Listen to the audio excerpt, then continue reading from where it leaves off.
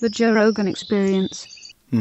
um, beyond anti-speech or want to limit speech or whatever. I mean, There's sure, more. that so that's that's a pretty big issue, though. Well, I don't. I don't actually agree that it exists on a significant portion of the left. Like, I think a bigger issue, for example, like if you said, "What is like a serious issue that the left needs to contend with right now?" Mm-hmm. I would say a more serious issue is if you look at the progressive accomplishments of the early 20th century, for example, like 1905 to 1925, mm-hmm. and the New Deal accomplishments that the left had in the time of FDR what was different, I think, then than the left now is that you didn't have to be completely in line with a specific set of policies or ideas. Mm-hmm. And I worry that now there's a little bit um, of the left maybe having this idea that if you're not in line on all of these issues, whatever the checklist is, so to speak, you're not really worthy of being a participant in what is clearly a leftward move in, in sort of the average American's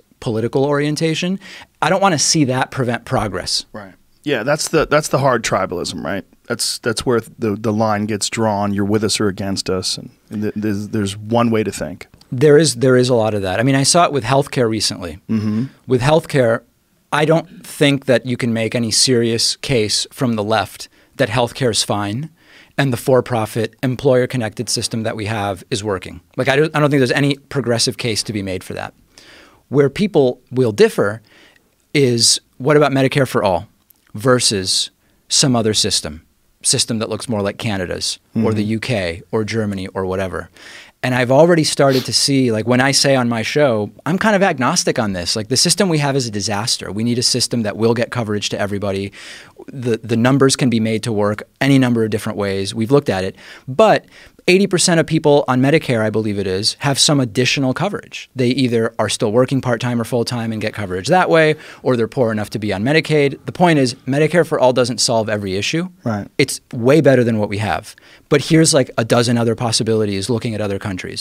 There is a portion of the left that doesn't like that because I'm saying I'm against Medicare for all. I'm not saying that.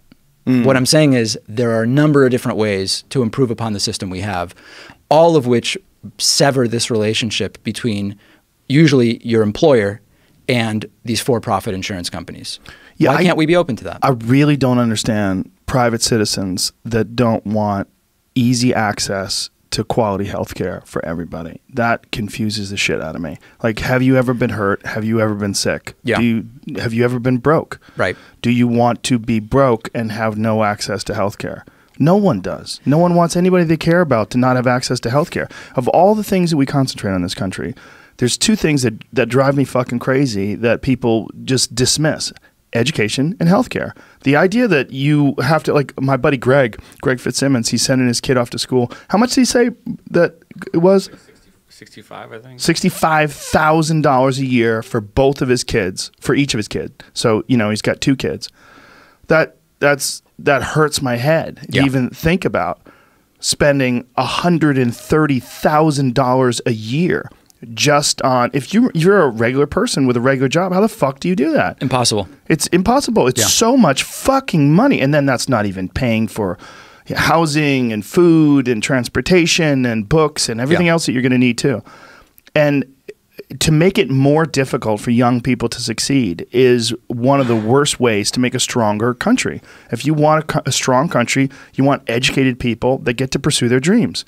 And the idea that we are so willing to spend so much money on these costly regime change wars and flying troops overseas to these places that they don't want to go. No one, no one wants it to happen, and it's trillions of dollars, and people are fine with that. But you talk to them about some sort of socialized education system, and people freak out and think you want to turn us into communists.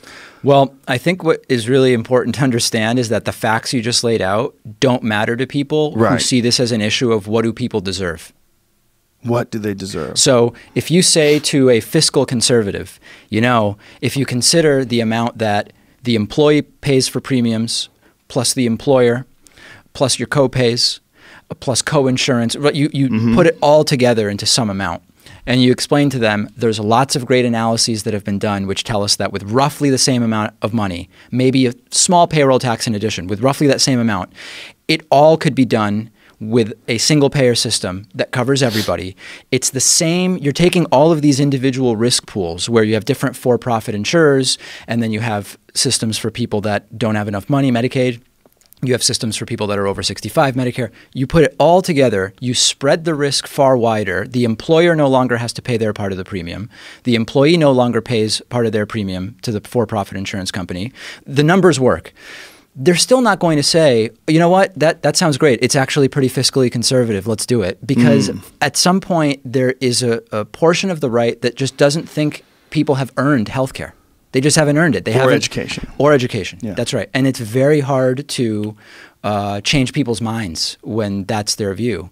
Uh, I think it's might be George Lakoff who I believe calls it strict father morality, which mm. is like how would a really strict mm. father treat a child who comes to them and says, Hey, you know what? Uh, I figured out a way that we can all have health care. The strict father, even if the numbers make sense, would say, I'm, I'm going to teach you a lesson. You haven't earned that health care, either because you don't work or you don't make enough money or mm-hmm. you're on disability, whatever the case may be. How do you convince someone to change their mind when that's their worldview? Yeah, how do you when it's a, an ideologically based decision and you're on team R or team L? you know what which uh, which group of ideas do you adopt? Right. Yeah. It, the the UK system sucks. You know, you talk to people that get healthcare over in the UK, it sucks. But at way? least they have a system. It's just not the same quality healthcare that you get in America. Same with my friends in Canada. I have friends in Canada that have come down here to get surgery because they find better doctors over here because they're Rand Paul was going to Canada to get his um, uh, operation. Yeah, that hernia. was why was that? Why did he do that? The best places in Canada. The best place for hernias? For that type of hernia, I believe, yeah. Hmm. I mean, here's the thing even in saying the UK system and the Canadian system, neither one is that good. Right. The, those two systems are totally different. Right. So it, I feel but they're like both socialized medicine. They are both. Uh, well, yes, in some sense. I mean, the Canadian system is administered at the province level, so the province is sort of like the market. Instead mm-hmm. of having all these sub markets attached to individual for-profit insurers at the provincial level. Uh, that's how it's organized.